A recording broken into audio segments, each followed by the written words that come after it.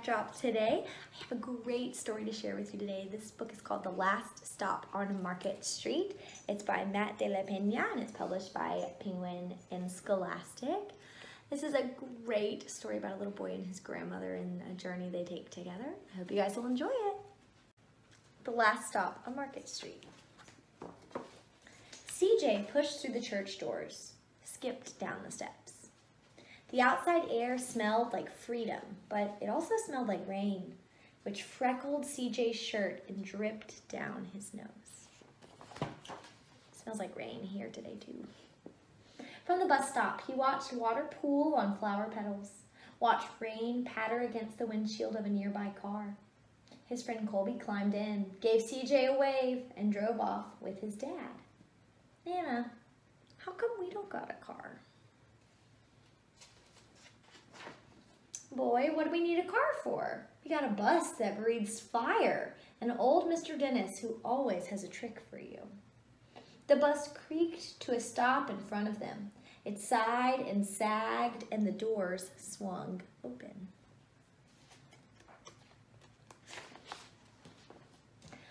What's that I see? Mr. Dennis asked. He pulled a coin from behind CJ's ear, placed it in his palm. Nana laughed her deep laugh and pushed CJ along. I love that, them getting on the bus. They sat right up front. The man across the way was tuning a guitar. An old woman with curlers had butterflies in a jar. Nana gave everyone a great big smile and a good afternoon. She made sure CJ did the same. The bus lurched forward and stopped. Nana hummed as she knit. How come we always gotta go here after church? CJ said. Miguel and Colby never have to go nowhere. I feel sorry for those boys, she told him. They'll never get a chance to meet Bobo or the sunglass man. And I hear Trixie got herself a brand new hat. CJ stared out the window, feeling sorry for himself. He watched cars zip by on either side, watched a group of boys hop curbs on bikes. A man climbed aboard with a spotted dog. CJ gave up his seat. How come that man can't see? Boy, what do you know about seeing? Nana told him. Some people watch the world with their ears. That's a fact. Their noses, too, the man said, sniffing at the air. That's a mighty fine perfume you're wearing today, ma'am. Nana squeezed the man's hand and laughed her deep laugh.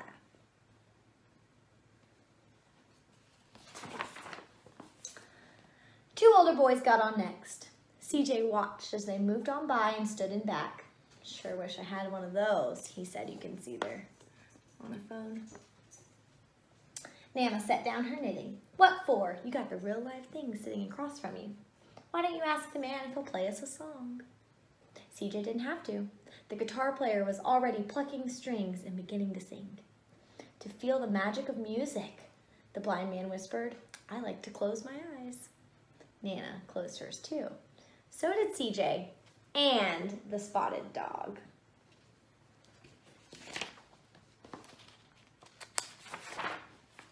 And in the darkness, a rhythm lifted CJ out of the bus and out of the big city.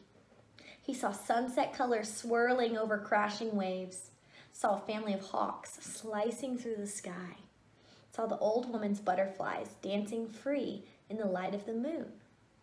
CJ's chest grew full, and he was lost in the sound, and the sound gave him the feeling of magic. The song ended and CJ opened his eyes. Everyone on the bus clapped, even the boys in the back. Nana glanced at the coin in CJ's palm. CJ dropped it in the man's hat. Last stop on Market Street, Mr. Dennis called.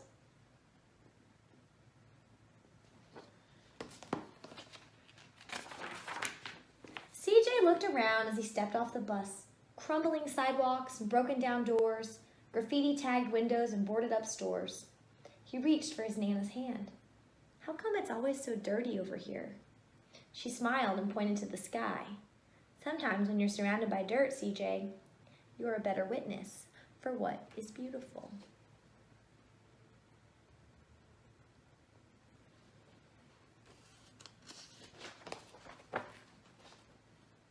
CJ saw the perfect rainbow arching over their soup kitchen.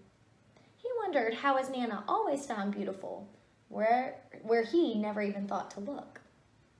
He looked all around them again, at the bus rounding the corner out of sight, and the broken street lamps still lit up bright, and the stray cat shadows moving across the wall.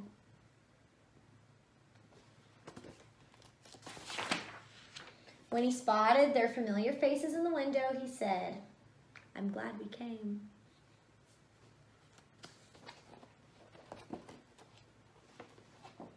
He thought his Nana might laugh, her deep laugh, but she didn't. She patted him on the head and told him, Me too, CJ. Now, come on. I love it. You can see them over here in line, working at the soup kitchen, helping their neighbors. And then the last page with our information about our text is just them at the bus stop. I love this story. I think this is a beautiful story. And I love the relationship that CJ has with his grandma. All right, hang tight for some activities you can do with our read aloud today. All right, friends, I have two different activities you can do with the last stop on Market Street today.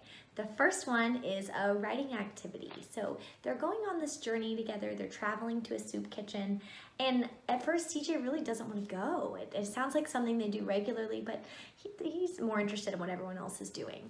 I want you to write for me about a time when you definitely didn't want to do something, but then you realized it wasn't that bad after all. You might have even enjoyed what you ended up doing. So I want you to write for me today. The next task I want you to do today, it's actually an art project. So throughout the text, the art is just stunning. It's illustrated by Christian Robinson and the artwork is just beautiful. And something I love are these last pages as they're walking to the soup kitchen with the bright colors and the city in the background. And something I think is really fun here, you can actually see him and his grandmother are tiny, tiny pieces of paper.